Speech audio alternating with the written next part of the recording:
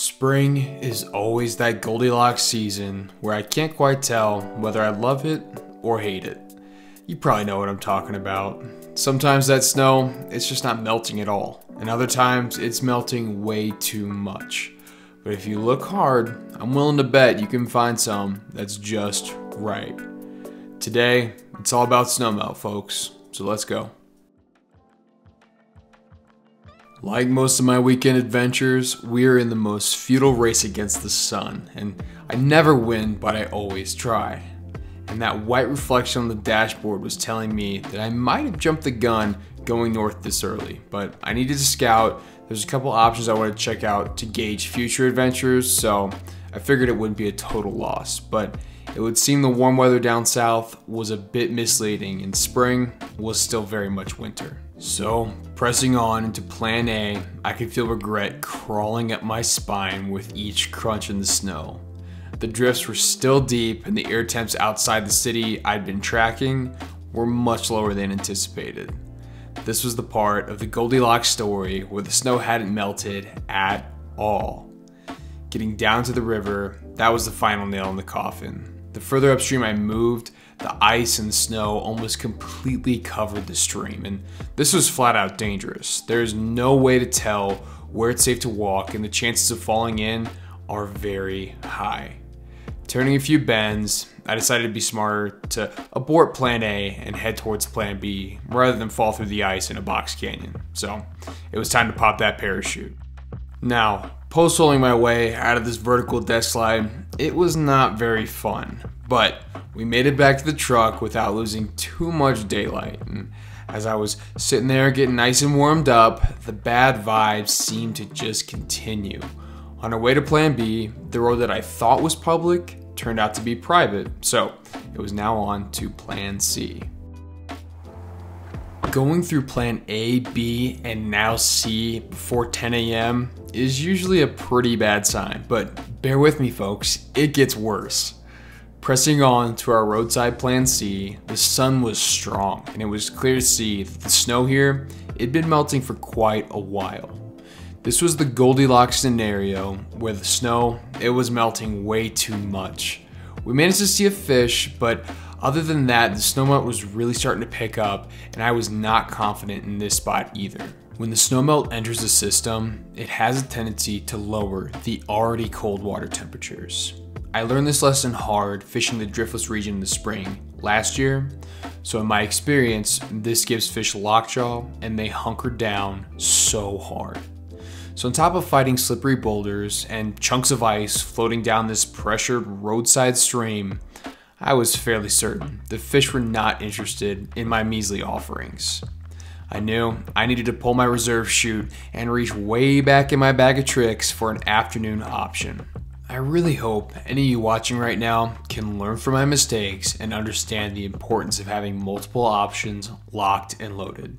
You need to maximize your time on the water, but I'll get off my soapbox for a second because now that we are here, it was clear to see that the sun was high in the sky and this little tailwater section, it was way ahead of its neighboring streams.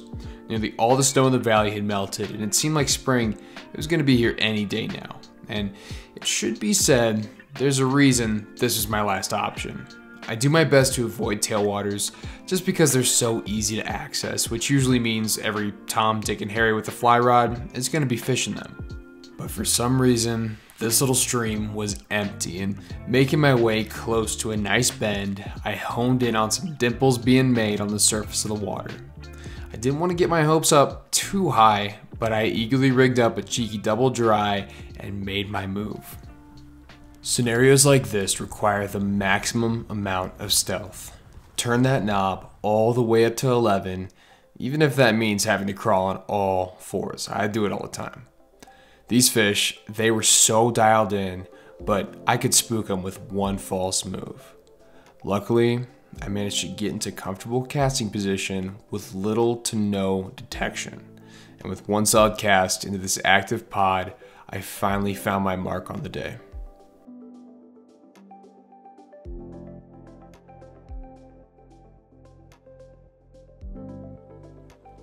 It's funny how all that running around this morning seemingly just melts away as soon as you get your hands on that first fish of the day.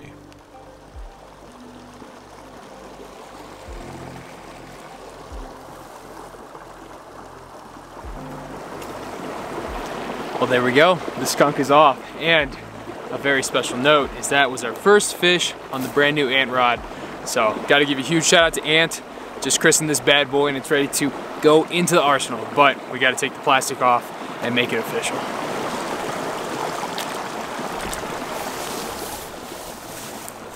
Let's try and replicate that. Getting back into casting distance, I could see a familiar blob still slithering under that log from earlier. I must admit, that hiding place, it was pretty nice, but my midge, it must have been nicer.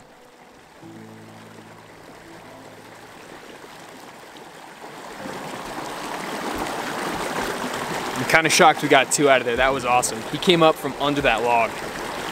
That's so cool. Let's get him back.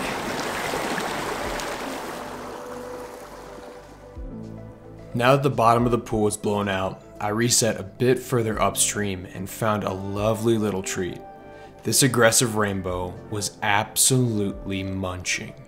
Notice how it takes flies off the surface as well as under the water. This bow was the definition of keyed in. It was going so far out of its way to grab any and all hatching bugs. So watching this, I felt so confident in what I had on. The top dry was a perfect adult phase midge, and the soft tackle just sat below the water to mimic a hatching midge. With the high vantage point, I was able to cast directly downstream, and without much hesitation, he smacked that adult midge. Nothing to write home about as far as size goes, but it's just so cool getting to see this problem in front of you and then successfully solving it.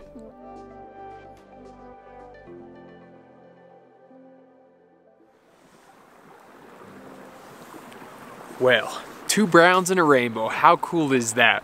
We got one on the bottom and two on the top fly, and our day has turned right around. Three busts this morning, kind of a really tough start to the day. But yeah, this afternoon it's really turned around and we finally found some productive water. And this little tailwater, it uh, seems to stretch pretty dang far, so I'm gonna keep following it down. And uh, I will say, it reminds me a lot of like Iowa or Wisconsin, just the driftless in general, just the way it kind of meanders like this. I love it. Love it, love it. But yeah, let's uh, stop talking, get our hike on. I feel like it's starting to become the rule rather than the exception, but keeping true to myself, I left fish to find fish. The further downstream I got, the stream really got skinny. It was just more narrow and shallow than it was upstream. So, with lots of sign of angling pressure, I decided to double back and maybe head to where I actually saw fish.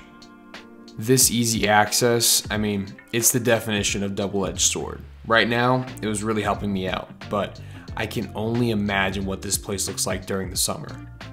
I was a little shocked that I hadn't completely shut down this pool of active fish, but with a nice cast, I managed to pluck another brown with the soft tackle this time. I was very, very happy to get him, but he flopped out before I could get a good look at him. And with that fish back, it felt much more natural heading upstream but the further we got, it was clear that beavers, they were very busy in this tailwater. They had dammed up a few parts of the stream, which made for excellent beaver ponds, and we scored. I was able to spot and stalk one more rising fish on the day and trick it with that same adult midge.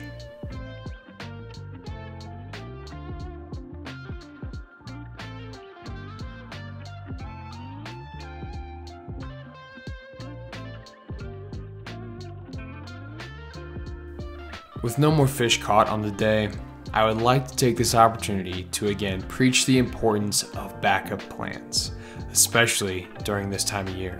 With snowmelt crushing our western waters and even runoff from storms in other parts of the country, spring can be one tough cookie to crumble. And with limited time on the water, planning ahead can save your day, kind of like it saved mine. Well, as the wind is picking up, our tiny tailwater adventure is over. As always, folks, thank you so much for sticking around. I feel like I'm a broken record here, but I mean it. I appreciate the support on all the different platforms, but especially here on YouTube. You know, the more you like and the, the commenting and subscribing, I guess it's some weird algorithm thing, but I actually do enjoy talking with you guys in the comments. So let me know what you guys think of these adventures. I always like talking and yeah, go check out the Instagram, the Patreon, the Discord, you know the freaking deal there. And before I sign off, I just gotta say, go clean up some trash. Bring an extra bag along and if you see anything, just pick it up. I made an extra effort today to try and do that. We need to be stewards of our land and yeah, try and make it better than when we hiked it. So with that, I'll step off my soapbox and say wherever you find yourself, be it on a teeny tiny tailwater in New Mexico or in your backyard, I sure hope you're keeping those feet in the water. And until next time, tight lines.